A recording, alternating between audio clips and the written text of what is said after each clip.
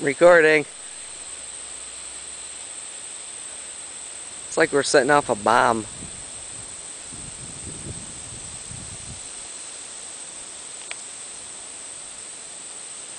Three, two, one.